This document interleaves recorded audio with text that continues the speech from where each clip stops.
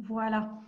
Goedenavond um, iedereen. Welkom uh, op dit webinar over epilepsie en genetica. Ik ben uh, Stefanie, ik ben uh, een van de oprichters van het steunpunt kinderepilepsie. voor de mensen die het steunpunt kinderepilepsie nog niet kennen, wij zijn een kleine patiëntenorganisatie die een goede twee jaar geleden werd opgericht. En wij zijn allemaal zelf ouders met een kind met een um, ernstige medicatieresistente vorm van epilepsie. En wij proberen andere ouders, andere families die ook een kindje hebben met een zware vorm van epilepsie te ondersteunen. Um, deze avond is onze gastspreker professor Dr. Uh, Sarah Wekhuizen. Uh, en ik ga even op mijn speakbriefje kijken. Uh, zij is neuroloog, epileptoloog, werkzaam in het Universitair Ziekenhuis van Antwerpen. En zij leidt daarnaast een onderzoeksgroep rond genetica van epilepsie aan het VIB-centrum voor moleculaire neurologie van de Universiteit van Antwerpen. Um, voor ik professor Wekhuizen het uh, woord geef, wil ik um, graag nog een aantal praktische zaken meegeven. Um, het webinar zal worden uh, opgenomen en zal ook beschikbaar gesteld worden via onze Facebookpagina en via onze website. Dat zal over ongeveer een week uh, het geval zijn. Um, jullie kunnen tijdens uh, dit webinar uh, vragen stellen. Uh, dat kan via de Q&A die um, op, ofwel op onderaan op jullie scherm staat als het over een vaste computer gaat, ofwel op de gsm, als ik het goed voor heb, is het rechts bovenaan. Um, dus we zullen de vragen die jullie stellen aansluitend op de presentatie zoveel mogelijk proberen te beantwoorden. Um, en dan nog gewoon even meegeven dat jullie uiteraard allemaal op stil, op mute staan uh, tijdens het webinar enkel wijzelf uh, zijn te horen.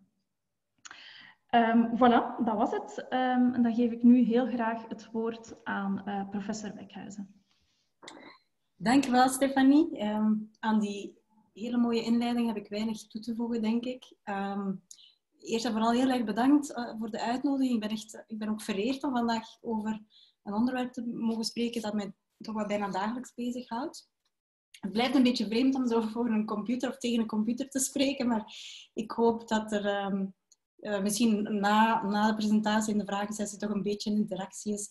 Um, en ik hoop jullie alleszins toch iets uh, te kunnen bijbrengen. Ik ga het dus inderdaad vandaag hebben over genetica en epilepsie. Ik ga me kort een beetje introduceren uh, wat de rol is van genetica binnen epilepsie. Um, een paar basisbegrippen uit genetica um, uitleggen, zodanig dat duidelijk is wat, wat dat net inhoudt. Um, ik ga een beetje illustreren wat de mogelijkheden zijn die we vandaag hebben, want dat is enorm toegenomen de laatste jaren, uh, maar ook welke moeilijkheden dat dat meebrengt. en tot slot een klein beetje over wat de impact uh, nu is van genetische testing en, en, al de mogelijkheden die we hebben. Dus eerst en vooral, dit zijn uh, twee diagrammen. Um, en eh, het komt uit een, uit een tijdschrift, maar zoals je onderaan ziet, het eerste van, diagram dateert van 75 jaren geleden en het tweede is iets recenter. En dat is puur om een beetje te illustreren, zoals iedereen wel weet, epilepsie is niet één ziekte. Er zijn heel veel vormen van epilepsie en er zijn evenveel mogelijke oorzaken van epilepsie. En als je kijkt naar wat we wisten in 75, hè, we wisten ja, een, beroerte, een tumor, infecties, uh, een, een, een, trauma, uh, problemen bij de geboorte. Dat kan allemaal uh, de oorzaak zijn van epilepsie. En hele grote groep waarvan men niet goed wist wat de oorzaak was, dat noemde men toen idiopathisch. Um, idiopathisch of cryptogeen was ook wel, wel, wel, een term die men gebruikte, dus, dus verborgen. En nu weten we um, dat een heel groot deel daarvan, tot, bij, tot 60% van de epilepsieën, waar men geen duidelijke oorzaak met scanners en metaboolonderzoek kan vinden, weten we nu dat daar genetica een rol speelt. Um, ik moet daar wel een beetje bij nuanceren. In die zin, er zijn verschillende vormen waaronder dat genetica een rol kan spelen. En waarover we het vandaag vooral gaan hebben, is dat groepje hier dat ik aangeduid heb, heb wat dat ze ja, de single gene of de, de epilepsie noemt, die door een, een, een, een probleem in één welbepaald gen um, worden veroorzaakt. En dat zijn dan typisch epilepsieën die in de familie voorkomen. En dan mama en, en, en, de, en de oma misschien, en een paar broodjes bijvoorbeeld. Um, ofwel, en dat is een beetje de revolutie van de laatste jaren, um, vooral de, de heel ernstige um, epilepsieën, die vaak ook gepaard gaan met bepaalde ontwikkelingsvertraging. Um, die niet familiaal lijken, maar toch vaak een genetische basis hebben door wat men noemt de novo mutaties. En daar gaan we het later nog over hebben. Dat maakt, zoals je ook in dit, dit, deze figuur ziet, hè, dat er een heel groot aantal andere epilepsievormen zijn waar genetica een rol speelt. Uh, maar daar is genetica eerder um, um, ja, een, een voorbeschikkende factor. Um, en ik heb dat iets meer uitgelegd in, in de volgende slide bijvoorbeeld. En, dan spreken we over de epilepsieën, waarbij eigenlijk een combinatie van allerlei genetische factoren je meer gevoelig maakt uh, voor het ontwikkelen van epilepsie. Uh, dus het is niet één factor, het is een beetje een pakketje van allerlei genetische factoren, waarbij sommige u meer beschik, voorbeschikt maken, andere nu misschien um, beschermen. Maar het totaal, het eindresultaat is dat je meer gevoelig bent aan epilepsie ontwikkelt.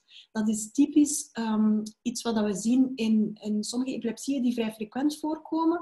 Uh, en waar sommigen van jullie misschien over gehoord hebben, zo de, uh, wat ze noemen de, de absence-epilepsie van, van de kinderleeftijd. Um, in de adolescentenleeftijd heb je een vorm van epilepsie die men juveniele myoclone-epilepsie uh, heet. Dat zijn vrij veel frequent voorkomende epilepsieën die over het algemeen vrij goed behandelbaar zijn. Um, vaak zo een beetje in de familie zitten. Je hebt er, nog, er nog een tante en er is nog een grootnonkel. Um, maar het is dus niet toch gevolg van één afwijking in één bepaald gen. Dat is iets dat je bijvoorbeeld ook ziet bij, eh, voor een hoge bloeddruk of een cholesterol. Mensen kunnen daar wel een aanleg voor hebben en de genetica speelt zeker een rol. Uh, maar het is geen één op één uh, um, relatie. Waar we het vandaag vooral over gaan hebben, zijn epilepsieën waar wel één wel bepaalde genetische verandering echt de oorzaak is van het ontwikkelen van epilepsie. En zoals ik daarnet zei, dat zijn de epilepsieën die echt in de familie voorkomen. Um, of bijvoorbeeld de, de zeer ernstige vormen van epilepsie, um, die ook heel vaak op, op kinderleeftijd beginnen trouwens. Um, die eerste vorm van epilepsie is belangrijk en daar gebeurt momenteel heel veel onderzoek naar, maar vooral in de context van wetenschappelijk onderzoek. Het is op dit moment nog niet mogelijk om te zeggen, ik ga nu, ik wil mijn DNA laten nakijken voor alle risicofactoren en ik wil dat je mij kunt zeggen, je hebt zoveel procent kans op epilepsie, zeg maar iets. Daar wordt aan gewerkt en er, er zijn heel veel evoluties aan uh, in. Um, dat, zijn, uh, dat is een veld waar bijvoorbeeld in, in suikerziekten en zo waar men al een beetje verder in staat. Daar, is men veel, al veel beter om, om daar een predictie over te kunnen geven. Maar op dit moment is dat nog niet zo het geval voor epilepsie. Het onderzoek is weliswaar wel heel belangrijk om te begrijpen wat voor soort factoren zijn dat dan die een rol spelen. Hè? Wat voor soort genen zijn er betrokken? Wat voor soort uh, pathways zijn betrokken? Um, het tweede vorm, en nogmaals waar we het vandaag over gaan hebben, dat is echt de vorm van genetische epilepsie waar dat je onder, onderzoek naar kan doen in de zin van, we kunnen dat testen. Tegenwoordig kan je daarvan eh, bloed nemen bij, bij, uh, bij patiënt of dokter of, of, of, of kind uh, en dat laten opsturen, net zoals dat we nu ja, een cholesteroltest of, of, of uh, het, het, het, level, het, het um, bloedzwaarde van, van het medicijn voor epilepsie dat je neemt in het bloed, bijvoorbeeld. Een paar basis um, begrippen uit, uit, genetica. Wat is genetica? Het is de studie van ons erfelijk materiaal. Of de studie van het DNA. En DNA dat is niet meer of minder dan, dan een afkorting van eigenlijk de Engelse term van een chemische structuur die in het Engels de deoxyribonucleic acid noemt. DNA, veel makkelijker uit te spreken uiteraard. Uh, en dat is een, een, een chemisch ja, chemische structuur, een, een die in elke cel van ons lichaam zit, en meer bepaald in de celkern. En die zit daar opeengepakt in de vorm van chromosomen, pakketjes DNA. En als je die chromosomen zo uitrekken, dan krijg je zoiets zoals je dit hier eh, in de figuur zit, zo een, een dubbelstrengige helix noemen ze dat. En dat is het DNA. En nu, wat is dat DNA?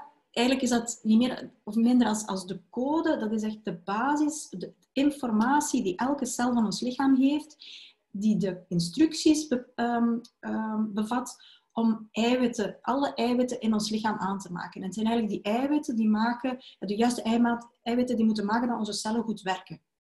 Ehm, en als je nogmaals die, die, die helix nog meer in detail zou gaan bekijken, dan zie je dat de basiselementen, dat dat eigenlijk een, een vierletterige, vierletterige code is. Die code, die lettertjes A, T, G, C, zoals je ze daar ziet, dat noemen de nucleotiden. Ook dat zijn weer bepaalde moleculetjes. En die zitten aan elkaar vastgemaakt in een hele lange cijfercode. En ons hele genoom of ons hele DNA, dat bevat zo 3 miljard van die nucleotiden of lettercodes. En dat is eigenlijk onze basis, ja, ons basishandboek eigenlijk, hè, van, van hoe onze cel moet werken. En dat is iets dat in onze cellen zit en dat wij ook doorgeven naar alle volgende generaties. En we geven eigenlijk ons handboek door aan uw toekomstige kinderen en zo ja, aan, aan de hele populatie. Wat is dan een gen? Want daar, daar, wordt dan heel vaak over gesproken. Uw gen is juist één deeltje uit dit DNA dat die code betreft voor zo één eiwit aan te maken. En zo drie lettertjes bijvoorbeeld, dat, dat is de code voor een bepaald aminozuur. En zo heel veel lettertjes achter elkaar maak je dan een eiwit. En uw één gen is gemiddeld 15.000 van die nucleotiden lang. Om maar een idee te geven hoe complex dat, dat allemaal is. En ook daar zit weer heel veel variatie in. Je hebt het allerkleinste gen is 200 van die nucleotiden lang. Uh, maar het grootste gen is 2, en dan moet ik nog eens goed kijken dat ik juist zeg, maar 2 miljoen uh, 500.000 van die lettertjes lang. Dat is enorm. Hè. Nu ons hele genoom en al ons DNA en elke cel um, um, heeft de code voor ongeveer een 23.000 genen. dus een 23.000 proteïnen dus ook. Of eiwitten. En dat deeltje dat de code draagt voor de eiwitten, dat noemt men het exoom. Nu, als je dat allemaal, die, de aantal nucleotiden zou, zou uittellen, dat is uiteindelijk maar 1%, 1,5% van ons hele genoom. Dat is eigenlijk een absolute minderheid. En je kan je afvragen, ja, wat is al de rest dan? Ehm, het niet-coderend deel van het genoom, ehm, zoals ze dat heten. Voor een heel groot deel is dat nog niet helemaal geweten. We weten nog niet helemaal goed wat het doet, maar we weten wel dat bijvoorbeeld sommige delen eerder een rol spelen in de regulatie ehm, van het aanmaken van die eiwitten. In dat deeltje zit bijvoorbeeld het signaal dat gaat zeggen: dit eiwit moet je enkel in je hersencel um, laten aanmaken. En dit eiwitje moet enkel in uw levercel aangemaakt worden. En nu ben je ziek en nu moet dat eiwitje moet je wel wat meer aanmaken. Dus meer de regulatie, dat zit in dat niet-coderend deel van het genoom. En dat is nog complexer. Daar verstaan we al veel van, maar zeker nog niet alles. Nu, zoals ik zei, in elke cel van ons lichaam zit dat DNA. En over het algemeen uh, heeft elke cel in ons lichaam ongeveer hetzelfde DNA, hetzelfde code. Uh, dit zijn, is een, een tekeningetje van de chromosomen. En zoals ik zei, dat zijn de pakketjes van het DNA, heel, heel dicht op elkaar gepakt. Uh, en zoals je ziet, we hebben 22 paar chromosomen en dan een X- en een Y-chromosoom, dat zijn de geslachtschromosomen. En we hebben van elk gen en elk chromosoom, of elk gen op het chromosoom, hebben we dus eigenlijk twee kopieën. Eentje dat van de papa komt en eentje dat van mama komt. Behalve dan bijvoorbeeld op dat Y-chromosoom, zoals je ook in dat tekeningetje ziet. Het Y-chromosoom is wat korter dan het X-chromosoom. Dus vrouwen die hebben wat meer genen en een paar meer, beetje meer genetisch materiaal. Belangrijk om te weten is dat van sommige genen, um, die zijn zo cruciaal dat als je een foutje hebt op één van die kopijen, dat je al een probleem hebt.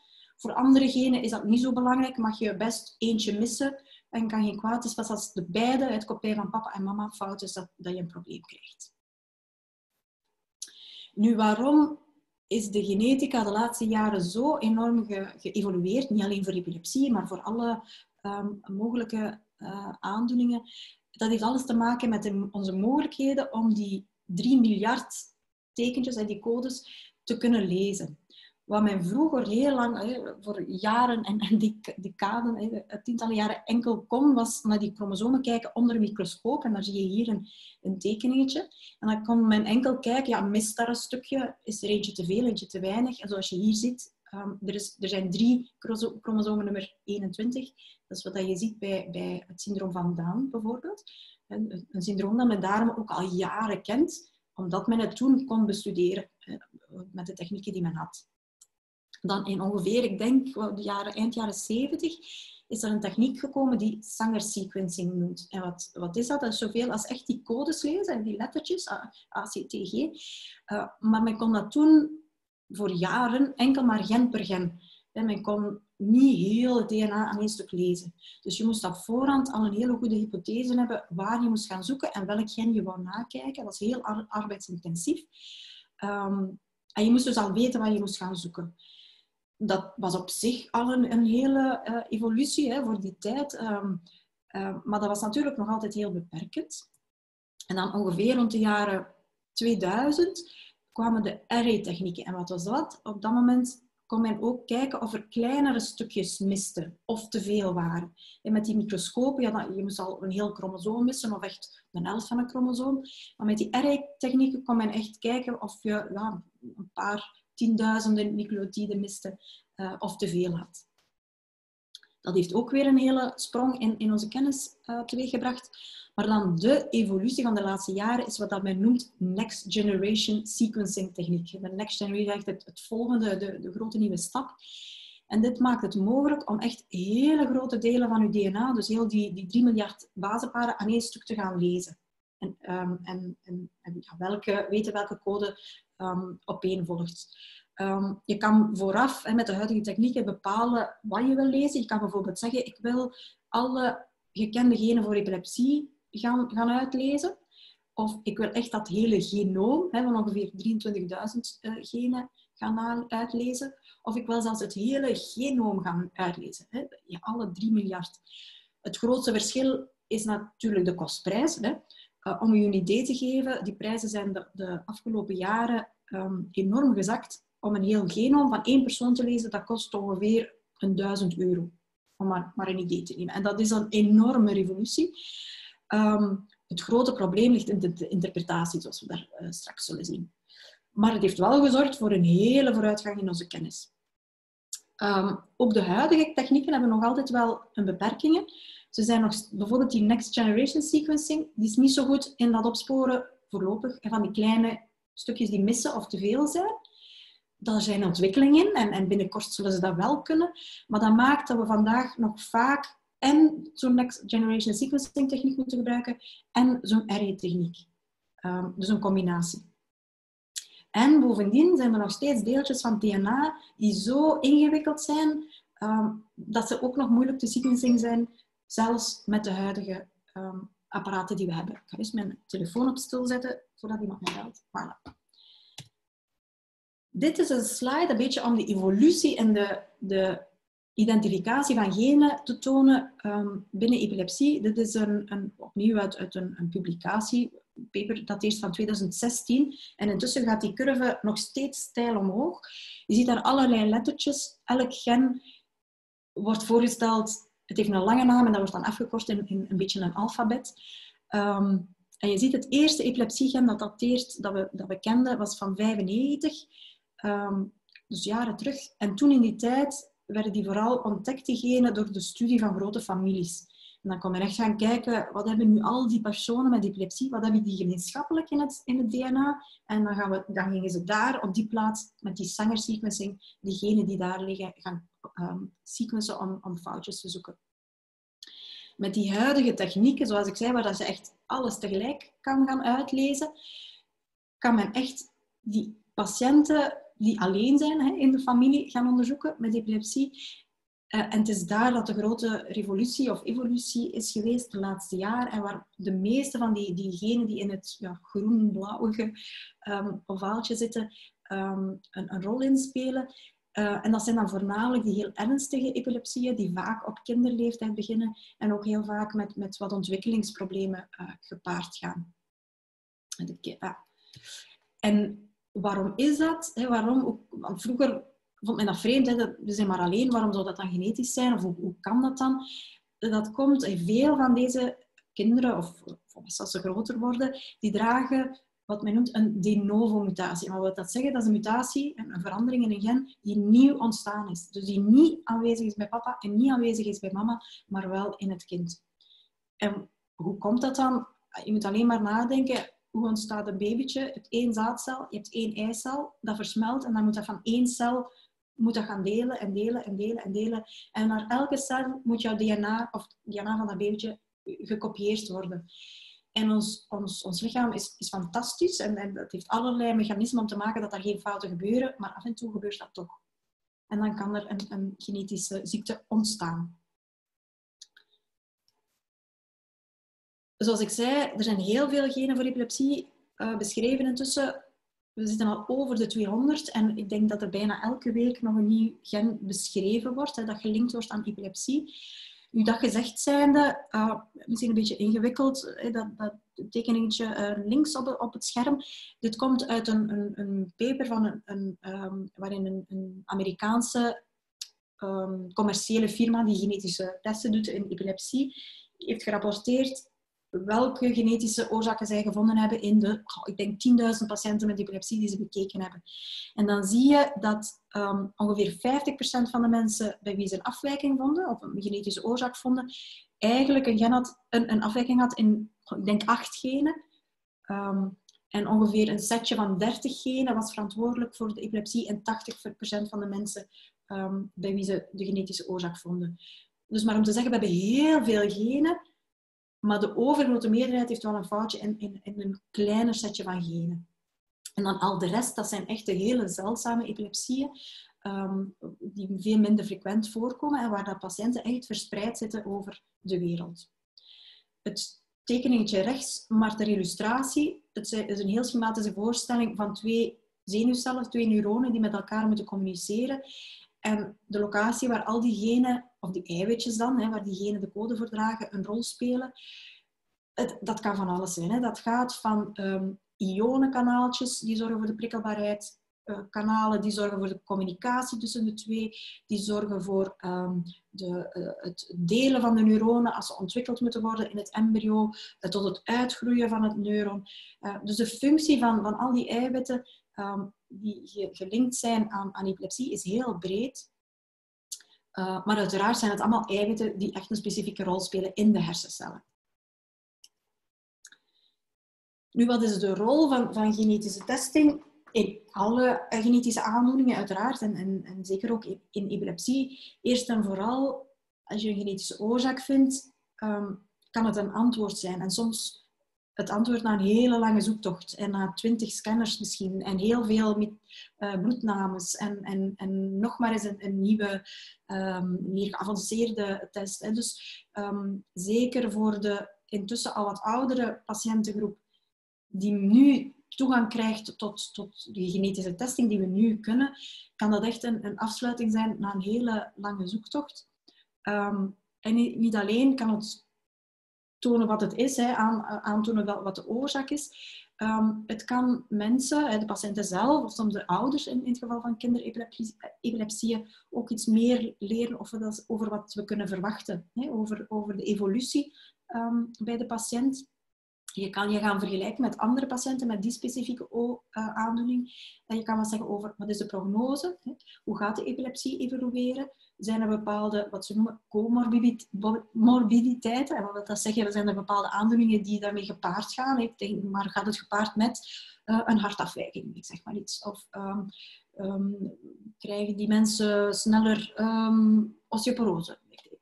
Dus je kan je wat voorbereiden, je kan naar uh, specifieke zaken gaan testen.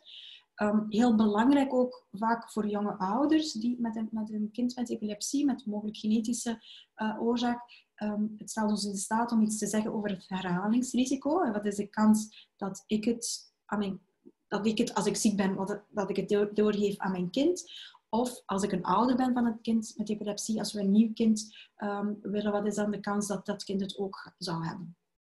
En dan last but not least natuurlijk, en dat is uiteindelijk het doel van genetische testing, uh, we hopen allemaal dat we daardoor meer een betere behandeling kunnen opstarten natuurlijk. En daar ga ik op het einde van de presentatie nog kort iets over, nog iets over zeggen.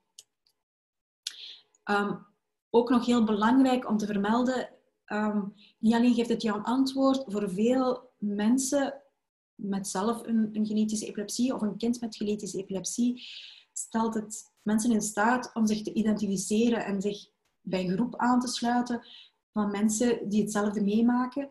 Um, als familie die met dezelfde problemen uh, geconfronteerd worden. Uh, niet alleen om onderling uh, ervaring uit te wisselen, maar ook om te lobbyen samen. Hè? Bijvoorbeeld um, om, om ja, fondsen te werven, om, om, onderzoekers aan de mouw te trekken van um, wij zijn hier en wij, wij vragen jullie aandacht.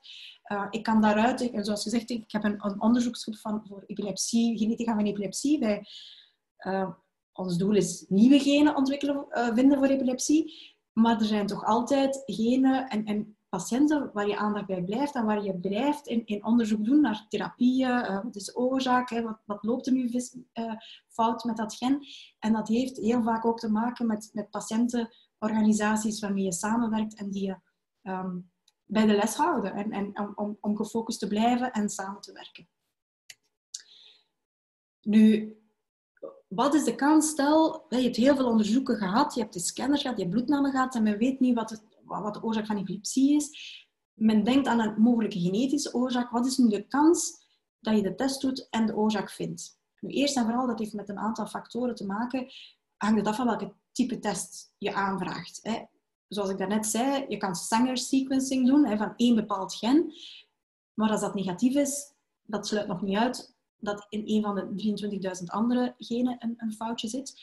Uh, tegen wanneer je een heel exoom uh, gaat uitlezen, is de kans natuurlijk groter dat je het antwoord vindt. En vandaar de hele evolutie van de laatste jaren heeft ons, ons veel mogelijk gemaakt.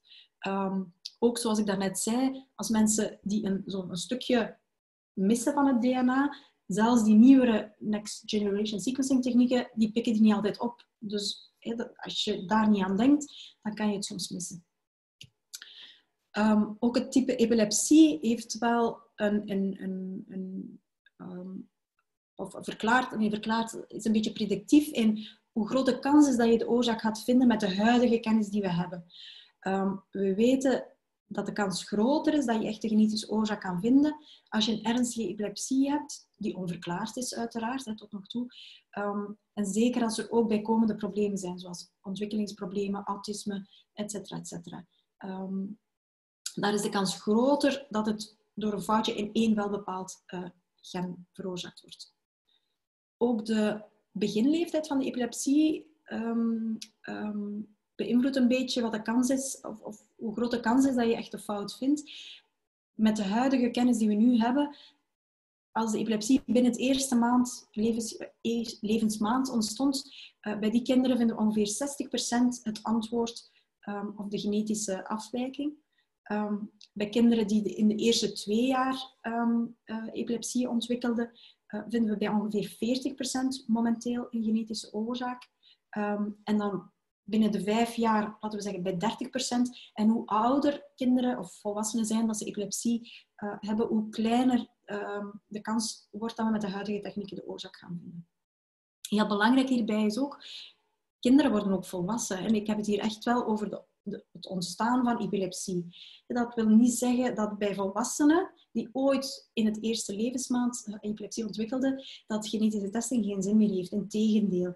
Um, vaak hè, bij deze patiënten, zeker als ze volwassen zijn, um, is zo de vraag naar wat is de oorzaak al een beetje uitgedoofd. Mensen hebben zich erbij neergelegd, ze leven er al jaren mee. Um, Niettemin, hè, ook daar een antwoord kan nog steeds verlossend zijn. En bovendien kan het ook heel erg leerlijk zijn voor jongeren of ouders van jongere kinderen met die, die genetische aandoening, omdat het ons wat leert over hoe genetische vormen e-, van epilepsie evolueren over tijd. Dus vandaar dat ik ook denk dat het natuurlijk met, met toestemming van patiënten of, van ouders van patiënten, dat heel belangrijk is om ook deze um, patiënten genetische testing op zijn minst aan te bieden. En tot slot, en nogmaals, ja, het al dan niet vinden van de oorzaak heeft heel veel te maken ook met de huidige kennis van de genetica van epilepsie. We kennen nog niet alles. We kennen heel veel en we kennen elke dag meer. Uh, maar we, kennen, we hebben nog niet alle genetische vormen um, kunnen ontdekken. Of we weten niet altijd helemaal goed, en daar kom ik zo meteen op terug, hoe we de genetische um, uh, data die we terugkrijgen, hoe we die kunnen, hoe we die kunnen interpreteren. Kortom, als je een negatieve test hebt, je doet genetisch onderzoek, is negatief, het wil nog niet zeggen um, dat er ook geen genetische oorzaak is. En het kan nuttig zijn om over een paar jaar die test te herhalen. En waarom is dat dan zo moeilijk? Um, zoals ik zei, de DNA dat is eigenlijk onze essentie. Dat bepaalt hoe dat het cel moet werken. En dat maakt dat het grootste deel echt goed juist moet zijn. Hè. En 99 tot 99,5% van het genoom, dat is inderdaad identiek tussen twee personen. En wat dat, dat draagt die basiscode van hoe je eiwit eruit moet zien. Maar een halve procent, 1 procent van het genoom, dat is nog altijd 3 miljoen van die lettertjes, 3 miljoen nucleotiden, die verschillend zijn tussen twee personen. En wat wij een variant noemen, dat is gewoon iets dat anders is dan wat het referentiegenoom. En dat is het genoom dat men heel in het begin bij een paar personen heeft gesequenced. Dat neemt men als referentie. Dat waren gezonde personen. En elk genoom of DNA dat we nalezen van elke nieuwe persoon of elke patiënt, dat we vergelijken met dat referentiegenoom. Maar dat betekent dus, als we een heel genoom lezen, dat we 3 miljoen varianten gaan vinden. En de vraag is dan, hoe weten we nu wat dat gewoon variant is, omdat we allemaal verschillend zijn? Want ik heb bruin haar en, en blond haar en ik ben wat groter. En, um, en wat is nu een ziekteverwekkende variant? En daar zit, zit de moeilijkheid. En om dat een beetje... Oh ja, en dan nog één in zin. Hoe uitgebreider onze test, hoe uitgebreider dat we gaan kijken. Doen we een heel exoom of doen we zelfs het heel genoom, hoe moeilijker wordt om um, al die data te analyseren. En dat een beetje proberen illustreren, maar met, met eh, een handboek voor bijvoorbeeld een, een, auto te construeren. Stel dat er komt op een dag iemand bij u uh, die zegt, ja, ik ben hier in, in een paar duizend um, um, autoconstructeurs binnengelopen en ik heb daar de handboek of de, de, de, instructies meegenomen voor hoe dat je een auto in elkaar moet steken. Maar ik zie dat er zo hier en daar wat verschillen zijn en ik weet niet goed of dat, dat nu is omdat ze dat verkeerd gekopieerd hebben of, of omdat dat dan niet goed werkt kun je daar eens nakijken. En dan begin je te kijken, en ik, heb hier een kleine code, maar denk eraan, één gen, hè, of in een auto, dat, dat is normaal gezien ongeveer 15.000 van die lettertjes. Ehm, en dan zie ik, het overgrote merendeel die heeft op dat plaatje dit staan. En met wat geluk heb je een, een constructeur die dat, weet wat dat betekent en die probeert dat uit en die krijgt een auto en dat rijdt en dat is oké, dat is een rode auto. En dan vind ik er toch wel een heel aantal en daar staat een letter G op een bepaalde plaats. En je laat je constructeur dat ook eens uitproberen. En dat blijkt een blauwe auto te zijn. En perfect normaal, die rijdt even goed zie je rode. Dus dat is iets, dat, dat lijkt wel, uh, dat lijkt wel oké te zijn. En dan vind ik er toch wel iets minder frequent, maar dan vind ik er toch af en toe die, die twee andere uh, lettertjes dragen. Je probeert dat uit en dat lijkt nog wat chicere auto, die waar rapper rijdt, maar die, die doet dat even goed eigenlijk. En dat letterke daar op, op die andere plaats komt ook redelijk frequent voor. Dat is een model dat het even goed doet. Dat rijdt wat minder, maar dat is niet ziek. En dat, dat zal doen wat, dat, wat dat het moet doen. Maar heel af en toe vinden er twee, drie um, van die grote boeken met, met, de instructies waar een T staat op een bepaalde plaats. En als je dat probeer, uitprobeert, dan krijg je toch wel een hele auto. Nu, die rijdt, hè, maar dat, dat pakt wat wind stikte dat in, in een auto, dat blauwe model van er juist, ik weet niet wat dat was, een Lamborghini, dan rijdt dat waarschijnlijk even goed als, als, als elke normale auto. Maar steekte dat in een Lada, ja, dan zal dat wat meer problemen hebben. Dat is een beetje de analogie van die risicofactoren waarover ik het daarnet had. Hè. Alles, alles hangt af van de context waarin dat je dat hebt. Um, en dan vinden er toch een waar, dat, waar dat een stukje mist. En dat blijkt dan een auto zonder wielen te zijn. Ja, dan, dat gaat niet. Hè. Dan is er iets mis. Dit zou dan een ziekteverwekkende variant kunnen zijn. Ehm, of deze, hè, op een bepaalde positie, met wat chance kunnen we dat uitproberen. En dat blijkt dan een auto met vier wielen te zijn. Ook dit rijdt niet. Dat is een, een, een, ziekte en dat is een pathologie. Dus een klein beetje om te illustreren. Nu heb ik het over een heel klein, over één hè, handboek voor één gen of, of één auto. Maar dat zou je moeten kunnen doen voor, voor duizenden genen. Dat is niet evident. Ehm, dus onze huidige moeilijkheid is niet meer om het DNA te lezen. Daar hebben we momenteel de apparatuur voor. Maar het moeilijke is om dat allemaal ehm, te interpreteren en dat dan juist over te brengen aan, aan patiënten van wat je net gevonden hebt. En heel af en toe kan dat ook tot onduidelijke bevindingen leiden. En dat kan, daar moeten we ook vooraf, denk ik, als we die testing doen, die we nu kunnen, hè, dat hele exome, dat hele genoom gaan nakijken, duidelijk vooraf duidelijk maken aan patiënten dat ze um, weten aan wat dat ze zich kunnen verwachten. Hoe beginnen men er dan aan? Heel, heel grof, hè? want het gaat natuurlijk... Is, het, is, is niet evident, maar stel als, je, als we nu... We kunnen nu dat hele exome, of dat hele genoom um, gaan, gaan, gaan gaan, gaan uitlezen. Hoe begint men daaraan? Nu, meestal, met de huidige nogmaals, kennis die we hebben, de meeste diagnostische labo's die dat test aanbieden in een, in een ziekenhuis, meestal doen ze soms wel een exoom of een genoom, omdat het kan om dat, te genereren. Maar ze analyseren meestal degene die, waarvan men weet dat ze verantwoordelijk zijn voor, in dit geval, epilepsie. Men beperkt analyse echt tot degene die men kent. Om niet met het probleem te zitten dat je miljoenen andere varianten hebt waar je niet weet wat dat betekent. Um, sommige, en, dat is bijvoorbeeld het, het geval ook wel ehm, bij ons in Antwerpen, werken wel samen met een onderzoekslabo. In die zin, als zij niks vinden, mogen wij, hè, maar met ons onderzoeksogen, met toestemming van patiënt uiteraard, er ook naar kijken of dat er geen varianten zijn hè, die, die, die nieuwe oorzaken van epilepsie. Maar meestal die eerste analyse in die diagnostiek, die beperkt zich tot de zaken waar we iets van weten, om maar zo te zeggen. En dan gaat men een aantal, heel aantal andere zaken bekijken. Bijvoorbeeld, is dat een variant die al eerder in gezonde personen is gezien? We hebben momenteel grote databanken waar dat, eh, de data van controlepersonen zit. Als dat in heel veel controlepersonen zit die perfect gezond zijn, zal het waarschijnlijk een pure variant zijn, een goedaardige. Uh, is het al eerder in patiënten gezien? En ook daar bestaan genetische databanken. Hè. Bijvoorbeeld in Dravet-syndroom, jullie waarschijnlijk bekend. Um, er is een Dravet-syndroom databank van genetische varianten. Uh, en ook belangrijk is dat natuurlijk, als het al gezien is in patiënt, heeft de patiënt die ik hier voor me heb, heeft die gelijkaardige symptomen. Um, ook nakijken in de familie, of die variant uh, nog voorkomt in de familie, kan heel, heel veel helpen. En bij heel ernstige epilepsieën verwacht je niet dat familie, gezonde familieleden het dragen. De familiale vormen van epilepsie verwacht je juist wel hè, dat andere personen met epilepsie dezelfde variant dragen.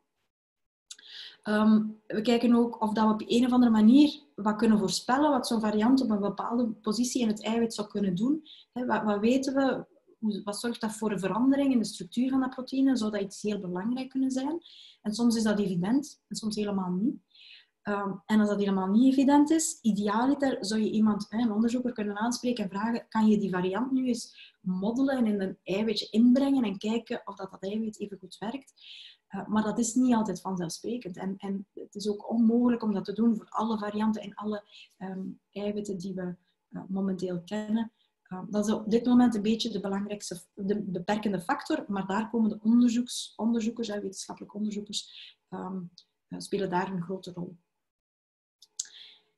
Maar alleszins blijft het zo dat ook nu met alle kennis die we hebben, alle mogelijkheden, dat we af en toe varianten vinden waarvan het niet helemaal duidelijk is wat het betekent. Soms is het duidelijk, hè, dat is een goedaardige variant of het is een, een pathogene, een ziekteverwekkende variant. Soms weten we het niet goed. Het kan, kan, kan rood zijn, het kan groen zijn, het was of wit. Um, en dat, dat kan soms voor onduidelijkheid zorgen.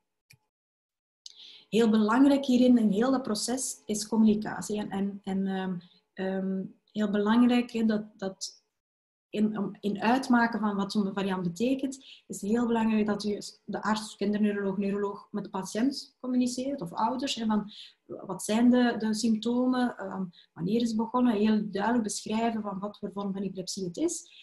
Dat die neuroloog dat ook heel duidelijk met het, het, genetisch labo uh, bespreekt, zodat dat zij ook weten welke test is best dat we moeten uit, uitvoeren. Of als ze een variant vinden, is dat al in gelijkaardige patiënten gevonden. Um, en ook interactie met, met, met wetenschappers is, is um, heel belangrijk. En open communicatie um, um, kan echt een doorslag geven om, om, of dat we kunnen uitmaken wat varianten betekenen. Een ander nadeel, niet alleen de onzekerheid, is we kunnen tegenwoordig heel het exoom of dat genoom bekijken. Soms kunnen we ook te veel informatie krijgen. Want natuurlijk, in theorie zou je alle momenteel mogelijk gekende genetische ziekte kunnen gaan, gaan opsporen. En je zou bijvoorbeeld, uh, voor zover we dat allemaal al kunnen natuurlijk, hè, maar kunnen zeggen, goh, ja, je hebt zoveel procent kans om later Alzheimer te krijgen. Ik zeg maar iets. En dat zijn natuurlijk zaken, toevalsbevindingen zijn dat dan, die niet iedereen graag wil weten. Hè. Vandaar um, het belang van vooraf en dan spreek ik wanneer we dat hele exoom of genoom gaan testen. En niet zozeer wanneer je zwangersequencing van één zin doet. Um, dat je vooraf goed moet duidelijk afspreken of bespreken met de patiënt. En elk genetisch labo heeft daar een hele duidelijke richtlijn uh, in. En de algemene richtlijn van een labo is dat ze zich enkel um, beperken tot nakijken van de oorzaak van de ziekte en jouw vraagstelling. Ze gaan niet kijken naar genen voor Alzheimer of, of, um, uh, of um, Huntington of, of uh, hartaandoeningen. Uh, enerzijds omdat het niet evident is om het te vinden. En ten tweede, dat was jouw vraag niet. Er zijn wel enkele uitzonderingen en dat is ook in, in een wet of een ethische code, zou ik maar zeggen, vastgelegd.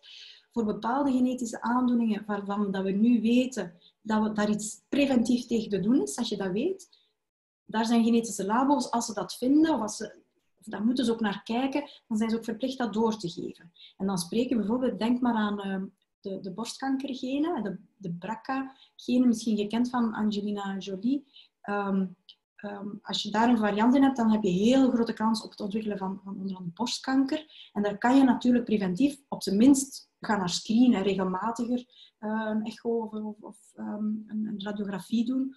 Of eventueel zelfs hè, amputatie van borsten. Uiteraard wordt dat altijd heel duidelijk besproken um, en in een context geplaatst. En moet dat samen met een, een genetische counselor um, de gevolgen besproken worden. Maar dat zijn de enige zaken waar men wel naar gaat kijken. Waar kan dan zo'n genetische test uitgevoerd worden? In principe kan elke behandelende arts, en dan vooral in de context van uh, oorzaak van epilepsie, de neuroloog of kinderneuroloog, die aanvraag doen en de bloedname doen in gelijk welk ziekenhuis. De test zelf, het bloed was nadien uh, doorgestuurd naar de Centra voor Medische Genetica en die zijn verbonden aan de universitaire ziekenhuizen uh, hier in België. Um, ik geloof dat je een paar commerciële firma's hebben die, die het ook aanbieden in België. Maar voor het algemeen gebeurt het in België in de, in de universitaire ziekenhuizen en het wordt ook terugbetaald. Om, een idee te geven, ik geloof zo'n heel exome tegenwoordig, als patiënt betaal je 10 euro. Um, maar als je ziet wat ik net had um, uitgelegd, het is heel belangrijk dat de uitleg voor de, voor de test uit te voeren, um, de selectie van het soort test dat je wilt en ook de bespreking nadien wel gebeurt door iemand die een beetje verstand heeft of voldoende verstand heeft van genetica. En sommige kinderneurologen en neurologen zijn daar echt heel bekwaam in en voelen zich daar ook bekwaam in. Sommigen zullen misschien zeggen, ik stuur je eerder door naar een neuroloog of een kinderneuroloog waarvan ik weet dat die expertise heeft, puur om dit, dit deeltje te bespreken eventueel. En nadien kan de behandeling verder overgenomen worden door de, eh, de, behandelend neuroloog. Of soms verwijzen we ook door naar een medisch geneticus. Hè. Dus ook een arts die, die specifiek alleen met genetica, niet alleen van epilepsie, maar uh, van vele um, aandoeningen uh, zich bezighoudt. En dat brengt mij dan bij, bij het laatste, uh, het uiteindelijke doen. Het is niet alleen weten wat heeft mijn, of wat heb ik, of wat heeft mijn kind. Hè. Het is de oorzaak van de epilepsie. Uiteindelijk hopen we allemaal op een betere behandeling. En, en dat is wat dat um, um, in, een, in een hele hippe term tegenwoordig precision medicine of targeted therapy in het Engels dan.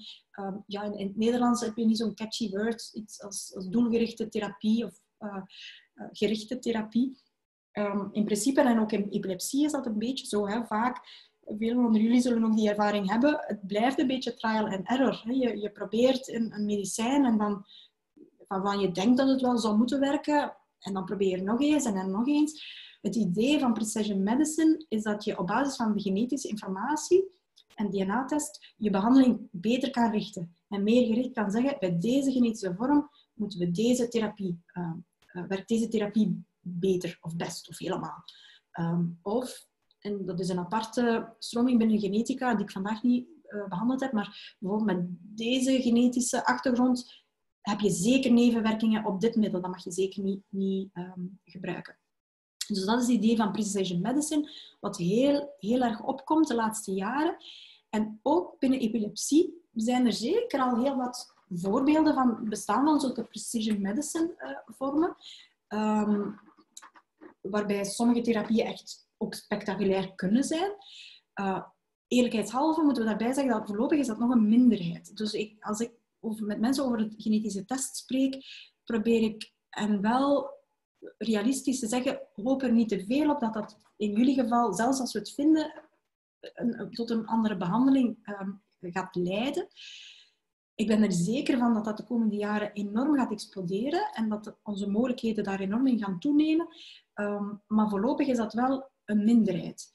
Uh, bovendien zeker in die zeldzame genetische epilepsiesyndromen, is dat soms besproken in, uh, of beschreven, hè, die precision therapy, in een handvol patiënten. Dus we weten dan ook nog niet meteen of dat, ook bij alle andere patiënten gaat werken.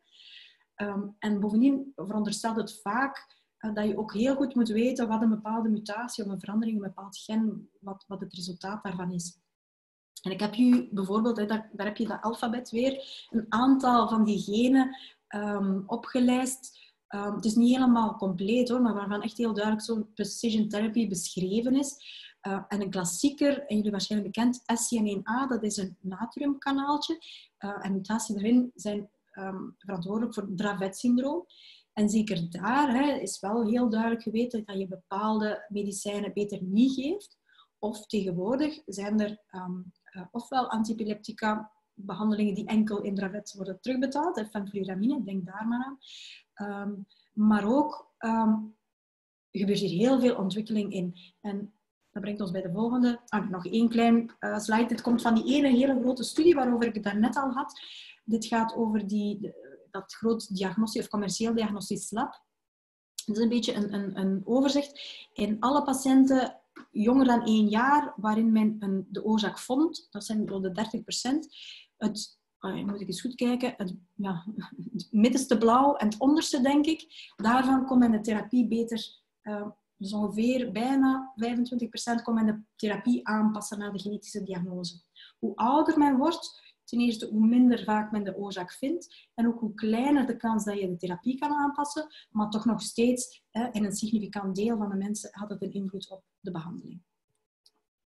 En een paar laatste slides om aan te tonen dat dit echt wel iets is dat echt een evolutie is. Ehm, en waarom ook? Omdat er ook een, zeker interesse is van de farma-industrie. De farmaceutische bedrijven richten zich nu ook ehm, vaker op die zeldzame genetische epilepsievormen.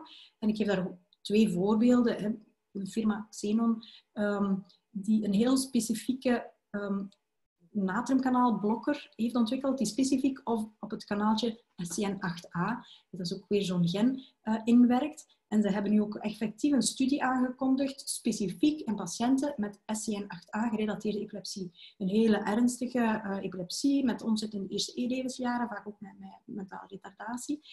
Um, en hetzelfde, ook weer dezelfde firma, heeft bijvoorbeeld een kaliumkanaalopener die, die, um, die ze ontwikkeld hebben en waarvan ze een studie hebben aangekondigd om een patiëntjes met KCNQ2 gerelateerde epilepsie. Dus dat zijn zeldzame genetische epilepsiesyndromen, maar niettemin is daar echt uh, de laatste jaren meer en meer interesse ook van de farma-industrie um, om zich daarop te focussen. Uiteraard ook in het idee dat dat later mogelijk ook voor andere vormen van epilepsie kan gebruikt worden, maar dit is een beetje hun, hun insteek. En last but not least, ja, dat, is dan, dat brengt bij de gentherapie. Dat is natuurlijk een beetje de toekomst. Ik heb hier één um, voorbeeldje. Een, een, vorm van um, gentherapie is wat men noemt azotherapie. Dat staat voor antisense oligonucleotide uh, um, therapie. Zonder in detail te gaan, het is een vorm in die zin ik zei daar straks, DNA wordt ook omgeschreven in een, een eiwitje, maar er is een tussenstapje dat men mRNA noemt. En zo'n azo de kan eraan binden en op die manier wordt er geen proteïne aangemaakt of wordt er minder proteïne of zelfs meer proteïne uh, aangemaakt. En zo kan men door beïnvloeden van een bepaald gen um, um, je eiwitproductie beïnvloeden. Um, om je een idee te geven, dat is een vorm van gentherapie, nog niet op de markt voor epilepsie, maar bijvoorbeeld wel, dit is het lijstje van de vijf duurste uh, drugs die momenteel op de markt zijn. De twee rode, dat zijn zo van die AZO's, alle twee voor spierziekten, al op de markt. En nummertje één daar, Zolgensma, dat is waarschijnlijk uh, jullie nog bekend van de hele um, uh, discussie van ongeveer een jaar geleden. Dat is een echte gentherapie. Dan brengt men echt een gen, het hele gen hè, in. Dus hele dure therapieën, maar die effectief op de markt komen, ook voor neurologische aandoeningen. En die, spin, die, die dat zijn spieraandoeningen. En wij zijn er nog niet ver van in epilepsie, want dit zijn bijvoorbeeld twee studies um, waar men zo'n ASO gebruikt op dit moment in, in muismodellen van Dravet-syndroom. Maar ook hier is er al aankondiging van studie van deze vorm van gentherapie in patiënten. En dus we, we, we, we, komen langzaamaan dichter en dichter bij, bij echt meer die targeted therapy, die precision therapy, ook voor genetische epilepsieën. Um, en ik verwacht ook dat daar de komende jaren heel veel verdere vooruitgang uh, gaat zijn. Dat brengt mij tot mijn laatste slide en enkele conclusies. Epilepsie heeft dus in tot 60% een of andere genetische component. Wat niet wil zeggen dat we in 60% van de mensen echt één genetische afwijking vinden. We hebben het vandaag vooral over die monogene of die single gene, die één gen um, epilepsieën. Ehm, en die genetische diagnostiek kan verschillende ehm, belangen dienen. Het brengt een einde aan de vraagtekens. Schuld ook, dat, heb ik toen niet vermeld, maar sommige uh, ouders met een kind met epilepsie, of, of meerdere ouders gehad, die dachten dat tijdens de zwangerschap iets fout was gegaan. iets, te veel alcohol gedronken of, of toch een pilletje tegen een antibiotica genomen en ik had dat niet mogen doen. En dan blijkt het genetisch, zo'n de novo mutatie. Um, en dan valt bij sommige, vaak ook moeders, een heel, heel pak schuld soms weg. Um, het geeft informatie over het herhalingsrisico, zoals ik zei. Je kan iets zeggen over de prognose. Je kan een comorbiditeit vroeg, uh, vroegtijdig detecteren soms. En in sommige uh, nu al uh, meer doelgericht behandelen. En nogmaals, ook bij volwassenen kan het heel relevant zijn. Maar het kan ook vraagtekens opleveren, zoals ik heb proberen illustreren vandaag. Um, en een negatieve test nu wil niet zeggen dat het dat het niet genetisch is. En binnen vijf jaar is uh, weten we mogelijk, en denk ik, ben ik zeker, uh, weer heel wat meer en zijn weer uh, nieuwe mogelijkheden. Dus nieuwe testing kan soms nuttig zijn. Dankjewel voor jullie aandacht. En moesten er vragen zijn, dan ben ik blij om ze te proberen antwoorden. Oké. Um... Dankjewel, professor Wekhuizen. Ik denk dat dat een heel heldere uitleg was van een aan de basis moeilijke uh, materie. Ik denk dat uh, heel, wat, heel wat ouders daar toch iets aan hebben. Um, het is... Um, we hebben nog zeven minuten de tijd. Er zijn een drietal vragen binnengekomen. Uh, ik denk dat we nog net de tijd gaan hebben om die um, um, te bekijken. Um, de eerste vraag is een uh, relatief lange vraag. Zal ze even voorlezen. Um, onze dochter is gekend met een T-SPAN5 gendefect. De novo ontstaan. Wij weten dit inmiddels al zes jaar en er lijkt een relatie met haar ontwikkelingsachterstand en haar absence-epilepsie. Maar we vinden tot nu toe geen gelijkgestemden en staan al jaren in een internationale database. Wat kunt u ons nog adviseren uh, te doen om verder onderzoek te doen, stappen te zetten om antwoorden en of gelijkgestemden te vinden? Een hele, een hele boterham. Ja, T-span 5. Ik, ik moet al beginnen. Het doet niet, bij mij niet meteen een belletje rinkelen. Maar dat wil niks zeggen. Hè. Er zijn meer dan 200 genen. Um, en dan zijn er nog heel wat genen die zo'n beetje in, het, in de overgang zitten. Epilepsiegen of ontwikkelingsgen, want er is heel veel overlap. En als we kijken naar degenen die verantwoordelijk zijn voor ontwikkelingsproblemen, dan spreken we over momenteel, denk ik, bijna duizend genen die daarvoor gekend zijn. En die ken ik niet allemaal. Dus vandaar, waarom is dat belangrijk? Omdat ik niet, mij niet helemaal duidelijk is, is men zeker dat het die T-span 5 is? Of is het zoiets, wat ik daarnet zei, zo een variant van ongekende um, significantie, men denkt dat het dat is, maar men is niet zeker. Want dat maakt een groot verschil. Um, bij de eerste, als het zeker is dat het iets, iets uh, ziekteverwekkend is, maar het is mogelijk heel zeldzaam. Um, en uw vraag is vooral hoe kunnen we andere patiënten met hetzelfde identificeren? Denk ik dat misschien een eerste stap kan zijn om bijvoorbeeld via um, de, het Europese netwerk van zeldzame epilepsieën, waar ook een patiëntendeeltje onderdeel is. De, um, um, ja, hoe, hoe, noemen zij zichzelf? Zij groeperen eigenlijk allerlei uh, patiëntenorganisaties. Zij kunnen soms zien of er, of er bepaalde netwerken zijn of dat, dat andere patiënten die, die contact maken met hen. en kijken of je via die weg nog andere mensen met hetzelfde kan vinden. Um, als het nog niet zeker is of dat het um, ziekteverwekkend is, dan denk ik, ja, dan, dan komt het aan uw behandelaar medisch geneticus aan om te gaan kijken of hij anders gelijke onderzoekers kan vinden um, die ook varianten in dat specifiek gen hebben. Daar bestaan tegenwoordig ook een vorm van ja, databases waar mensen een gen kunnen insteken en kijken of er iemand in, over de wereld een connectie maakt, een onderzoeker of een arts, uh, en dan kan men kijken of hun bevindingen overeenstemmen um, um, of het match, hè, bijvoorbeeld twee patiënten zijn met een gelijkaardig fenotype. Dus dat kan ook helpen. Ja. Ehm, als ik even uh, mag aansluiten, uh, dokter Wekhuizen, de, de persoon in kwestie zegt hier, het is zeker een T van 5 um, afwijking. En om nog heel even in te pikken, ik denk dat het waar u aan refereert, is waarschijnlijk het EPAG-netwerk binnen, ja. Epicare, binnen het grotere Epicare-netwerk, inderdaad. EPAG groepeert eigenlijk patiëntenorganisaties van zeldzame kinder- en volwassen epilepsieën op Europees niveau. Hè. Ja, het blijft Europees natuurlijk, want anders ja, dan kom je bij, als het bekende oorzaak is, als het heel zeldzaam is, dan zijn er vaak geen patiëntenorganisaties. Hè. En dan, dan wordt het inderdaad moeilijk. Dan kom je op Facebook-pagina's kijken of er toch ergens bestaan. Um, sommige medisch genetici, waar de diagnose is gesteld, kunnen toch soms hè, via die databases weer zien waar zit een andere arts die ook voor zo'n patiënt zorgt. En misschien kan die op, op een of andere manier jullie in contact brengen met anderen. Um, maar het is, het is niet zo dat er bijvoorbeeld één databank bestaat waar dat patiënten hun, aandoening kunnen insteken en kijken waar er nog iemand zit. Hè. Voorlopig dat dat niet. Dat denk ik men is meer en meer met databases en centralisatie bezig om mensen in contact te brengen, vooral voor die zeldzame epilepsieën.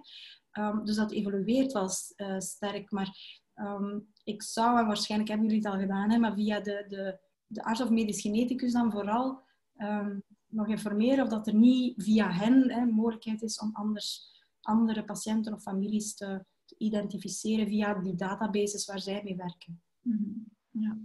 Okay. Ik begrijp het, hè, dat ouders graag contact willen met uh, gelijkgestemden. En ja.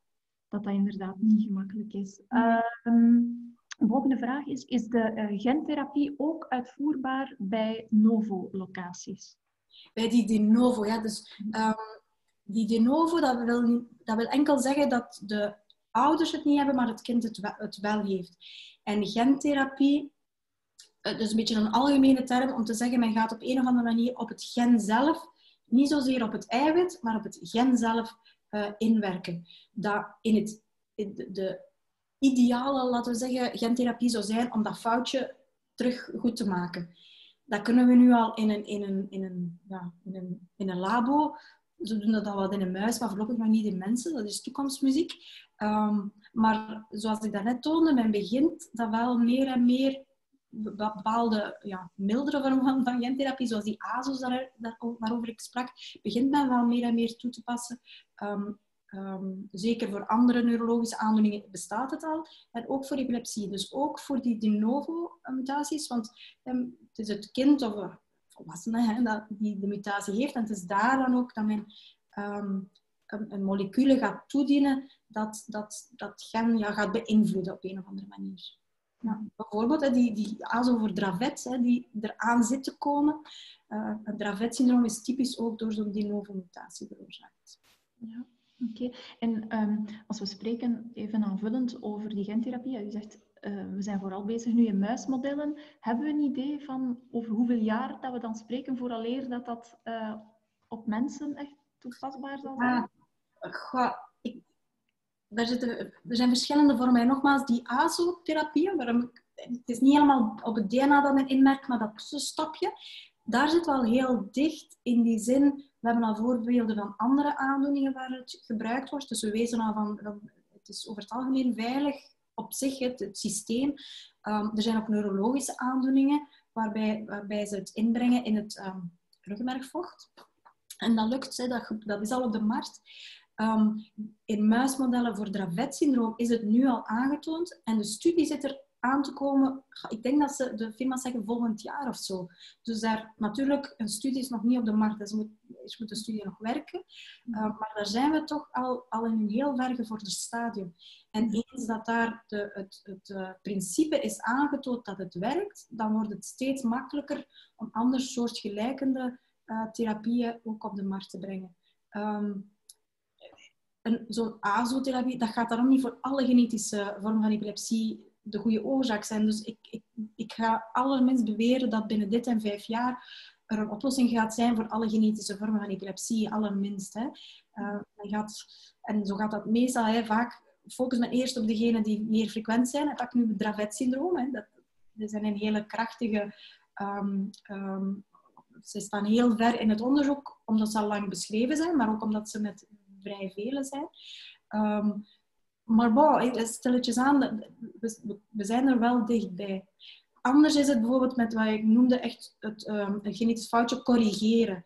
Dat, daar zitten we, dat, is nog, dat gebeurt nog niet in mensen, um, ook niet voor andere aandoeningen omdat ja, je wilt daar niks fout doen, want dan is het gecorrigeerd op de verkeerde plaats voor de rest van je leven, bij wijze van spreken. Dus er, er zijn toch wel wat risico's aan. Dus ik denk dat dat nog wel meerdere jaren gaat duren. Maar zo die, die tussenstapjes, hè, die ASO bijvoorbeeld, uh, daar zitten we toch wel wat, heel wat dichterbij. Mm een volgende vraag. Zou CRISPR een optie kunnen zijn in de toekomst om epilepsie te herstellen? Ja. Dus CRISPR dat is inderdaad zo'n techniekje om een, een, DNA te corrigeren. Mhm. En dat, dat, is, dat is een enorme vooruitgang geweest. Hè? Dat ook alleen al om epilepsie in, een, in een celletje of in, in, in het labo te testen. Je kan die genetische varianten je kan die maken in een, in een zenuwcel en dan kijken wat er gebeurt. Ehm, en dat is zeker toekomstmuziek en daar is men heel, heel veel onderzoek aan het, doen, aan het doen. Maar natuurlijk, het heeft het, het voordeel dat het iets definitief is. Het is meteen opgelost. Je, je herstelt het, brengt het naar het, het, het, goede. Maar natuurlijk, als er daar iets fout loopt, dan kan het heel, hele ernstige consequenties hebben. Hè? Want ook dat is uh, definitief. Zo'n ASO bijvoorbeeld, dat is iets dat je herhaaldelijk moet toedienen. En heb je nevenwerking of werkt het niet, dan stop je het gewoon en dan is er niks verloren. Dat is anders met die CRISPR. Dus uh, voorlopig is CRISPR nog niet 100% specifiek. Hè? Dus er gebeuren af en toe nog wel foutjes. Dus de techniek moet nog wat geoptimaliseerd worden. Ehm, en dan kom je naar de correctie van, van genetische aandoeningen. Eens dat dat vol, helemaal op punt staat, dan kan je het in theorie voor elke genetische aandoening bijna gaan gebruiken. Het blijft natuurlijk een beetje de vraag in welke mate kan je een genetische fout die er al van in het begin zit en van bij de ontwikkeling, kan je dan nog op latere leeftijd kan je nog alles corrigeren? Dat, dat blijft een vraag. Um, er is zeker evidentie vanuit uh, bepaalde aandoeningen dat we zeker een, deel van de ontwikkeling, want dan heb ik het vooral over uh, mensen met niet alleen epilepsie, maar ontwikkelingsproblemen, en dat we een deel van die ontwikkeling terug op gang kunnen brengen als we het later corrigeren. Um, maar de vraag blijft natuurlijk in welke mate we het helemaal kunnen herstellen. Ehm, en de gedane schade, om zo te zeggen, corrigeren. Maar voor epilepsie op zich, zonder de ontwikkelingsproblematiek, is het absoluut zeer veelbelovend. Mm. Maar de CRISPR, daar zijn we nog, nog een beetje van in, in, in mensen dan. Ja, mm-hmm. ja. interessant. um, misschien een, een, een, laatste vraag, want het is ondertussen vijf na negen. Um, een persoon zegt hier, het staal van onze zoon zit um, al sinds een aantal jaren in een database. Um, en stalen die al in onderzoek zijn, worden die telkens opnieuw onderzocht als er mhm. nieuwe inzichten ontstaan. Een heel goede vraag, denk ik. Ja, dat is een hele goede vraag. Ehm, er zijn twee aspecten. Enerzijds is het, het onderzoek, ik, ik, begrijp in een wetenschappelijk onderzoek, is, is het staal geïncludeerd. Hè? Mhm. Ehm, ik kan alleen maar uit, uit mijn ervaring ehm, spreken. In die zin, wij doen ook onderzoek op, op genetische staal die door de jaren heen verzameld zijn. Ehm, en wij, als er nieuwe inzichten zijn en we hebben budgetten om de nieuwste technieken daarvoor te gebruiken, want dat is het onderzoek, het, risico van de staat betaalt dat natuurlijk niet terug, um, dan proberen wij zoveel mogelijk stalen te includeren maar praktisch gezien kunnen we dat in onderzoek niet op alle stalen doen die we ooit gekregen hebben. En dan zijn er hè, degenen waarvan we het meeste DNA hebben, eh, mensen die, ja, waarvan we de meeste informatie hebben, uh, waarvan we weten dat de vraag nog steeds actief is, ook bij ouders. Um, en het past natuurlijk in, we vermoeden dat er echt wel iets genetisch um, is, die blijven we dan bij, bij volgende onderzoeken uh, includeren. Um, dus gebeurt het automatisch?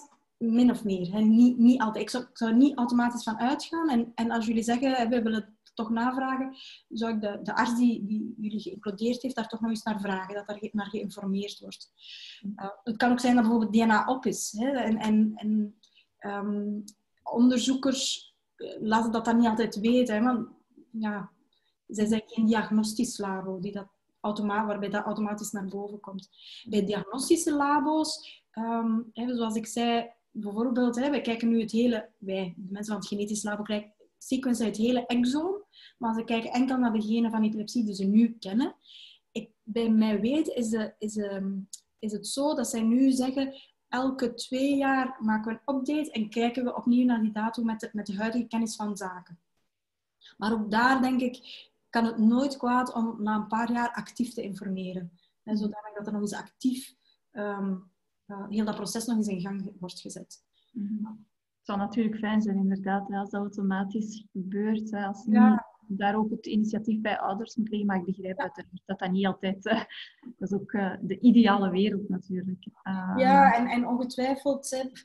Um, want heel dat exoom-gegeven, hè, want we kunnen nu alles nakijken, dat is iets heel recents. Dus ook genetische labo's, hè, die, de die aan universitaire ziekenhuizen zijn verbonden, die proberen daar die hele pipeline, hè, om dat allemaal zoveel mogelijk te automatiseren, dat er niet iemand door de files moet gaan van oei, dit is hier twee jaar geleden, dat het automatisch uh, gebeurt.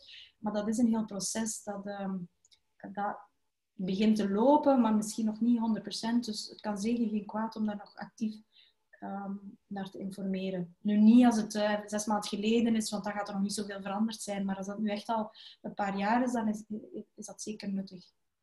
Oké, goed, dat duidelijk. Um, ik denk dat we hier gaan afsluiten, want het is uh, tien na negen. Um, ik denk dat we heel veel informatie, heel veel nuttige en interessante informatie meegekregen hebben. Uh, dankzij uw uitleg, professor Wekhuizen. Ik wil u nog heel heel hartelijk bedanken voor uw geïnvesteerde tijd uh, en energie. Um, en dan wil ik gewoon nog ter afsluiting even meegeven, zoals ik in het begin zei, ik denk over ongeveer een week um, zal het opgenomen webinar beschikbaar zijn um, via Facebook, via onze uh, website. Het is best dat u wat de website betreft zelf even gaat kijken. Het staat onder het tabblad uh, epilepsie en daaronder onderaan uh, is er een subtabblad uh, webinars. Um, en dan um, wil ik ook nog even meegeven uh, dat wij nog een volgend webinar gepland hebben op 17 oktober, dat is op een zaterdag. Uh, en daar gaan we verder in op het ketogeen dieet, dus de ketogene dieettherapie bij kinderen met uh, medicatieresistente epilepsie. En daar gaan verschillende kinderneurologen en pediatrische diëtisten aan het woord komen. En er zal ook uh, een demonstratie gebeuren van een aantal recepten. Voilà. Um, heel hartelijk dank uh, om mee te volgen. Heel hartelijk dank om te presenteren. Uh, en heel graag tot een volgende keer.